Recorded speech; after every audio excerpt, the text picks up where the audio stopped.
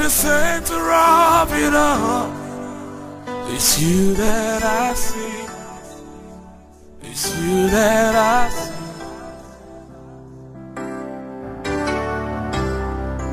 At the center of it all, it's you that I see. It's you that I see. Hello, dear listener. Welcome to Word of His Grace with Christ Wharton. Be educated in the Spirit to live the good life God has prepared for you. Your life will never be the same. God bless you. Now, the message. When we talk of valuing our fellowships, our main aim in this teaching is so that the people of God will value every second, every moment they spend with God. That is by His Spirit, by His Word, or with His Word, and also with other believers doing spiritual things. We are not talking about when you meet with believers and you are saying we are doing Sunday special and they are omotro. No.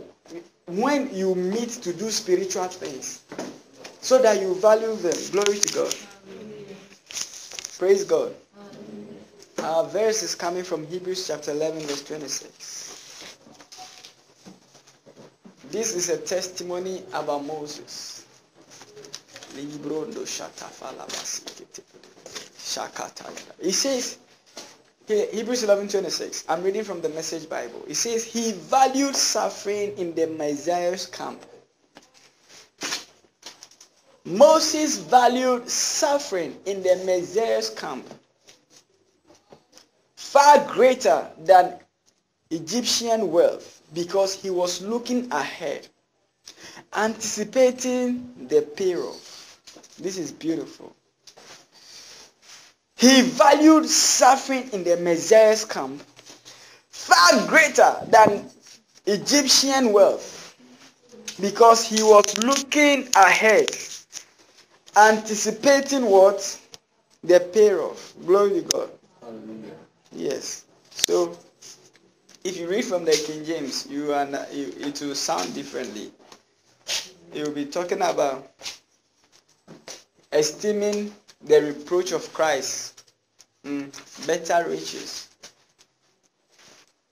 Yeah. Because I read the message, the King James is not coming. But it is well. Hallelujah. He says, Moses could have been very rich in Egypt. Let me change to King James. But esteeming the reproach of Christ greater riches than the treasures in Egypt. That's what we read in, in the message like that. For he had respect unto the recompense of the reward. Valuing our fellowships. Now, I said if you've been a Christian for some time, you probably have had this temptation of getting presumptuous with the Lord. And it is for all Christians. The longer you stay as a Christian, the more you will be tempted to be presumptuous. The more you have this temptation of disregarding or reducing the value of the time you share with the Lord. The value, it will be lessening with time. Glory to God. By presumptuous, we mean a gradual decline, mostly unnoticed, in our value or respect for spiritual things. So, you are tempted to, to have a decline in the value you place in spiritual things. It's just a matter of time. And that's because it is so gradual and very little, you don't notice it. But as you grow in the things of the Lord, one of the things you need to watch carefully is presumption. Hello? If you grow steadily without coming back, if you grow steadily without missing it along the line and getting to waste your time in the wilderness, one thing you need to keep in mind is not to be overconfident. You need to be confident, but not overconfident. You need, you need not to assume things when it comes to God. You don't need to presume before anything. You just assume that it will go this way, it will do this way, it will do that way. This change may happen so slowly will be unnoticed. This is one of the greatest threats to our intimate work with the Lord, and we must cultivate the habit of constantly checking ourselves to ensure we don't lose our sense of respect for the Lord and spiritual and the spiritual. You see, if you don't check yourself, you will lose it. You see, it, it, it happens to everybody. It's like if you have read, you know, that's the reason why you can't read a book three times. That same book. You know why? It's presumption. You think you know what is there. So you read the book, it was powerful. But after the first reading, it is just difficult to read it again. You, have you been there? Have you been there? You've not been there. You've not been there. Or you listen to a tape, it was powerful. Or even you were there. You heard it. You were blessed. But you can't listen again. You know why? You assume you know what is there. But spiritual things are different. Even in the natural, when you repeat something, okay, with the same interest, value placed on it, you have deep and lasting impression. It will stay with you forever. But human nature and the devil will have it that way that you will not like to continue. Hello? Yes. You will not like to be there. You you you you can't continue. You can't progress. And it happens to everybody.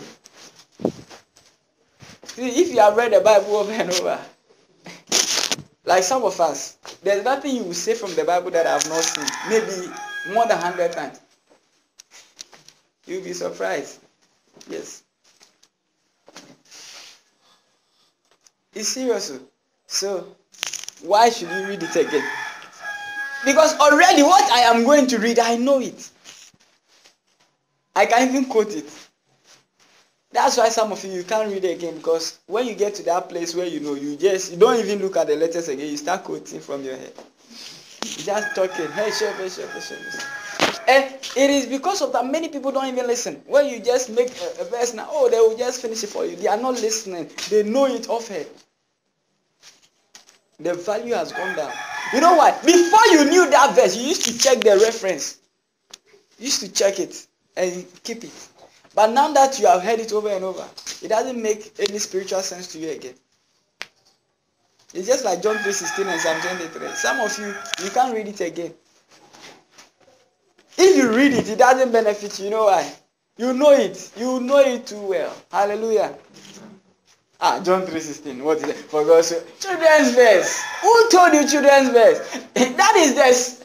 But because it has become to you a cliche, it doesn't benefit you again. You have lost the sense of value. But this morning, you need to go back and change the way you approach the things of God. Do You understand? Yes. Even if you are given only one verse in the world, in the Bible, for life, it should be able to speak to you all the days of your life because the Bible is not man's words, it's God's words. And every bit of God is God. Do you understand? Are you with me? So you shouldn't get to that place where you oh I know this I know this one. When you get to that place, you become less significant in the things of God. It will not it will no longer benefit you as it's supposed to benefit you. I have seen many people grow very quickly in the Lord. Many people. You know, over the time I've seen many people go, Yeah, and even in my own life, I've seen myself move. But when you get to a certain stage where you are familiar with the things, you slow your own self down. Because those times, if you are going to listen to Pastor you're like, what is he say? What is he going to say today? You are keen on hearing everything that he will say. And that's what blessed you. Because you listen you were fulfilling scripture. Said, My son, give me your heart. You gave God your heart. You rendered everything to hear. But you know what? Now you've listened. There's nothing that you will say that you don't know. But you have forgotten that the word of God is a spirit. One verse all your lifetime, you will not be it you will not have enough time all your life to exhaust one verse. So approach it differently. Hallelujah. Don't think you know. Don't get complacent with the things of God. Hallelujah. It, that is the, the pitfall for growing in the Lord and walking intimately with God. Yes. Even with ministers, when you walk with a minister, you think, oh, this thing that he will say, I know this thing is. But even if he keeps saying the same thing, it will bless you in a different way. Just listen attentively. Don't get for you. Then Omeka. Glory to God. How I started remembering scriptures was when I started, like, I was very keen. Every verse, every verse, everything, I was checking. But now I knew them, so I wasn't checking again. Then I realized something was missing. When you see a verse, I'll take notice of it. I that was when I didn't know them. Then I knew them. Then got a time I wasn't even paying attention to them. So, what verse can you quote? What else can you quote that I don't know? I'm now waiting for the one I don't know. Forgetting that you have not exhausted what you know. What new thing? You know, what new thing is there is there that I don't know yet? Do you think you can exhaust God? No. Just forget about that little thing that you know. Said, if you think you know, you don't do anything. You have not even started. Glory to God. They are to get complacent. Now, the Bible says Moses was highly praised for valuing something in God. He was highly recommended, praised in Hebrews 11. That's our opening verse. For valuing something. That same thing meant nothing to somebody. That same thing he was valuing that had given him a recommendation here that he, oh, he was work, he was a faith man. Another person, today's teaching, I'll be teaching on demystifying faith. See, some of the things are very, very simple things. And this one was just about placing value on something. And that's all. And that was what gave him a high recommendation. God approved of him, said, No, Moses is, is different. What did he do? He valued something. He valued to be with the people of God, to follow the calling of God. While some people said, no, Charlie, now in the palace, what do we lack? Nothing. Why should I join these people? You see, you may not understand this until you become a politician. Then you now you are torn between associating with the people of God or associating with the political party. And now you cannot say in Jesus' name. When you talk, you even say in the name of Allah the most merciful, and you are a Christian. Because of public appeal, it's called crossover appeal. Not, you see, esteeming the reproach of Christ. You are not, you are refusing to recognize it, and that is the reason why that politician will go down naturally, and in the kingdom of God, you will have no nothing, no recommendation, nothing about him. You will be torn between which side should go? Should I follow? Do I use my office to promote the kingdom? That's value, just value. Or I just be there. Valuing our fellowship. Don't let even one bit fall off your value for the things of spirit. Of the spiritual or spiritual thing. Don't let one bit fall. Don't get so much used to preaching so that oh preaching ben preaching artist ah that's the way to get stagnated. That is the way to get stunted. That's the way not to move again. Praise the lord there was a man called esau the brother of jacob that was the reason why mm, jacob um, esau failed because he refused to recognize spiritual things, to put value on spiritual things. He was hungry one day. He came to his brother and said, Oh, Jacob, at the hungry, what you get for there? As he said, now they do some shit for them. What's up? Jacob said, No, no, no, no, I don't give you. You every day be so nice they do, I don't give you. Say, oh, any ask anything I go take give you. Okay, if I give you today, I go be firstborn, you go be secondborn, you bab, oh bab, what be firstborn? Take the joke am. Forgetting that the firstborn came with a, a promise, came with a blessing. He was profane. He didn't value it. it you know, it was, it was physically everybody will acknowledge you as what firstborn, though you have exchanged it with words of man. Bible called him profane. Profane means disrespectful to divine things. Divine things. So like you are so used to it. So now you can do everything whilst it is going on. You can your, your mind will just be roaming everywhere while spiritual things are going. You are called profane. And that's why he missed it. That small thing, that was what made Jacob rich. And he became Israel. He said, No, no, no, no, no, you take it. That's how come his father could not discover. He gave him the blessing. Because of that, he went to Laban. Laban could not cheat him. He did ten times, he didn't work. He came back prospered. Because of that blessing. You need to value spiritual things. Some of you have heard God bless you as when you say God bless you. Nah. It now. oh, thank you. When you hear God bless you, say thank you. Because you heard it. You don't know what it means. Hello? Valuing spiritual things. That was what made Jacob. See, if you don't let these things work for you, it's because you have become disrespectful in spiritual things. You have become used to them. You have collected, God bless you, have no. May not may God bless you, not know you. Amen. Yes. That's why sometimes you don't even respond like oh. You not go? You don't know what next is coming to you that will bless you. Hallelujah. See, I refuse to get used to spiritual things. Yeah.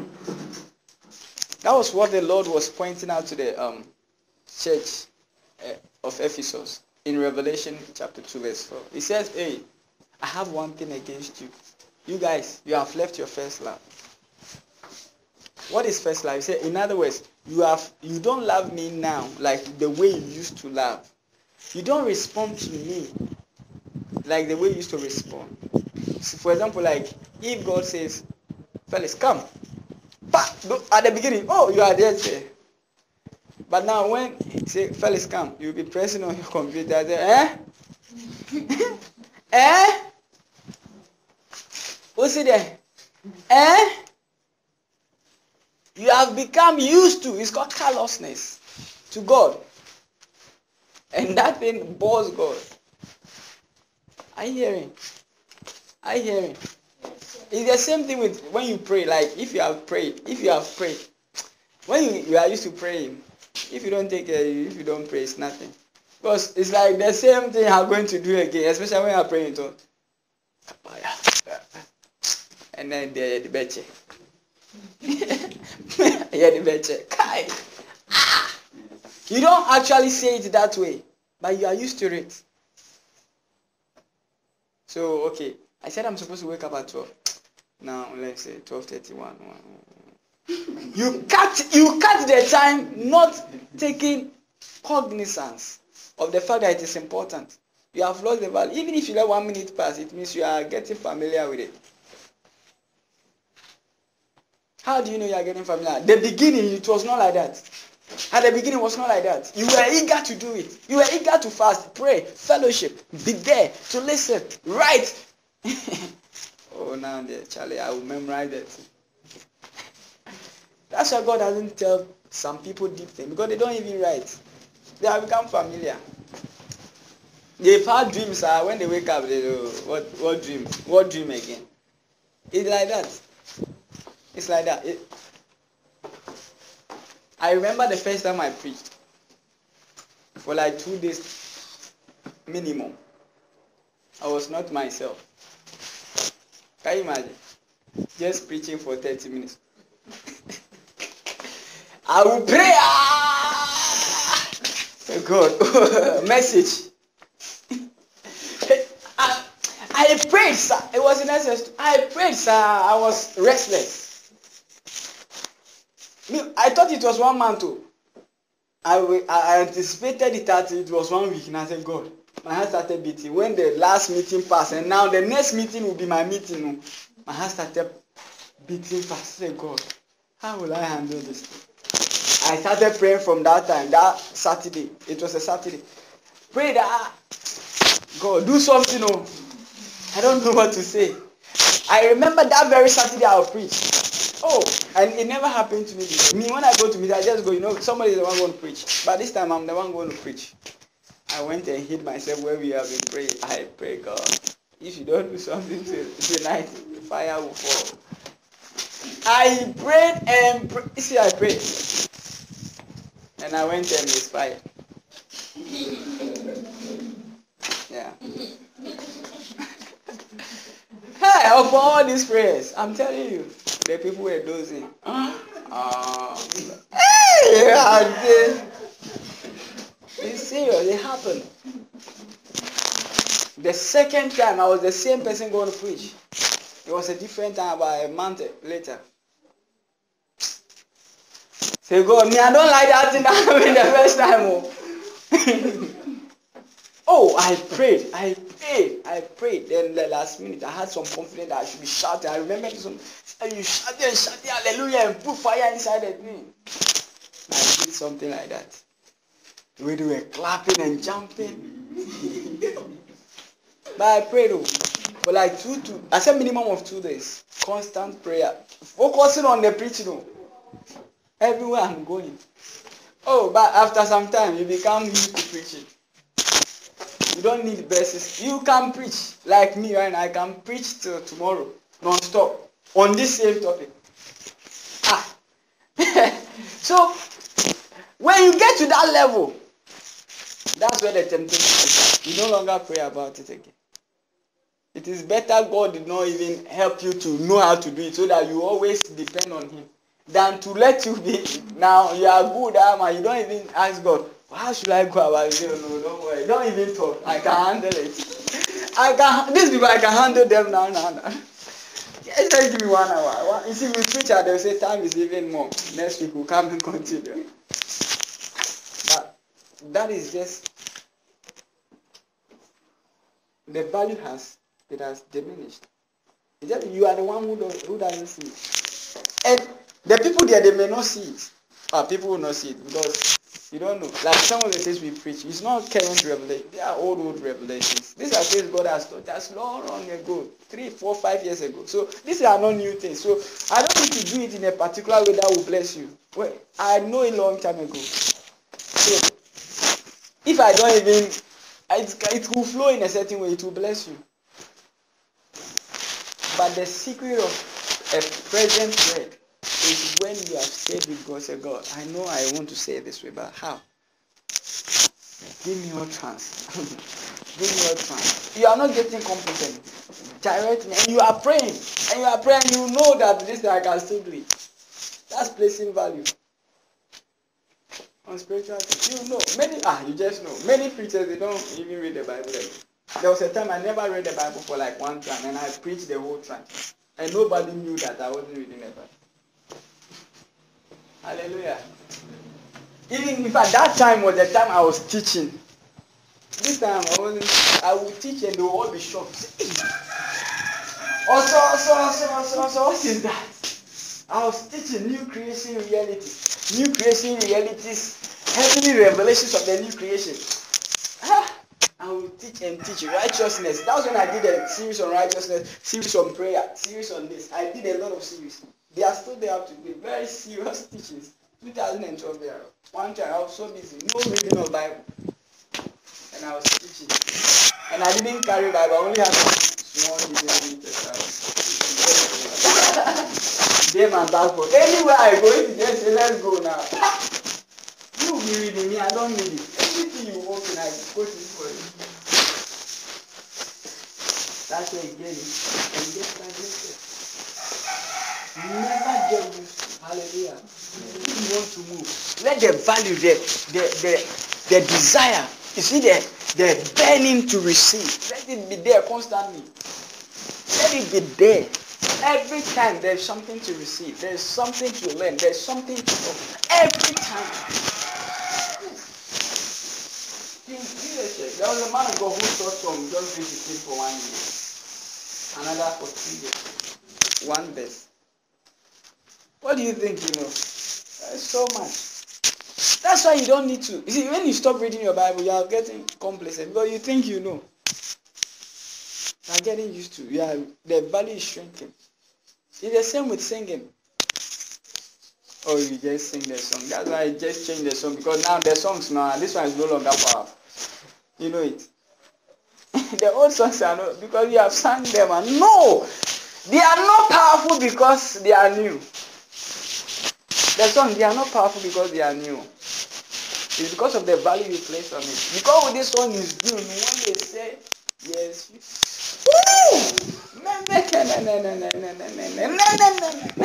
Kene, kene, kene, kene.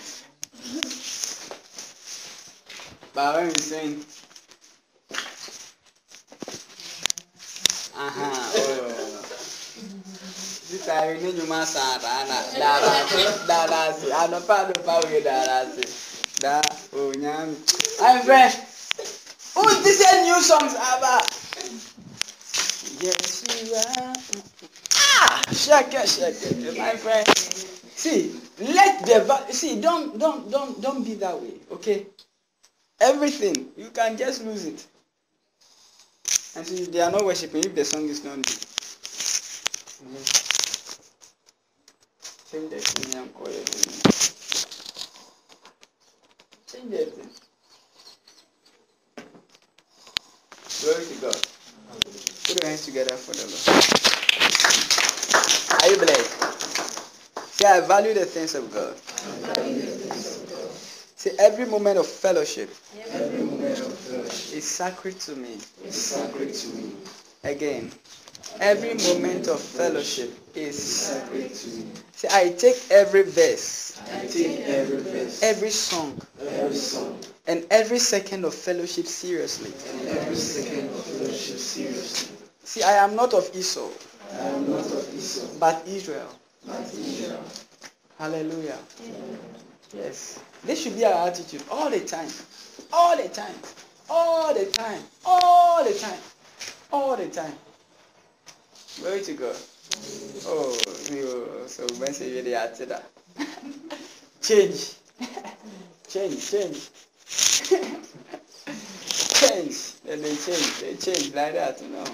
It's not supposed to be so. Glory to God. Father, we thank you. It's you that I see. It's you that I